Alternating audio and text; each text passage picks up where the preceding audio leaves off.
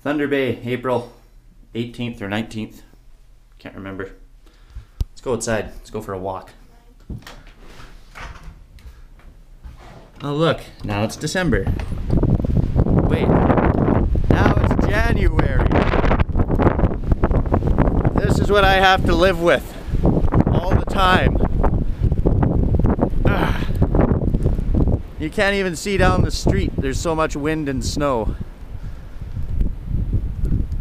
That's how deep the snow is. It's about four and a half, five inches. That's overnight.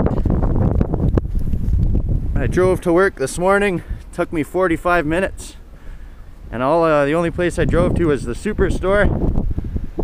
And then it took me another 45 minutes to drive home.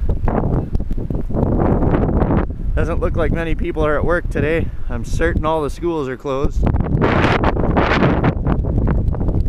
Ah, Can't even keep my eyes open. Hopefully it's better in Bowmanville. Anyway, Merry Christmas.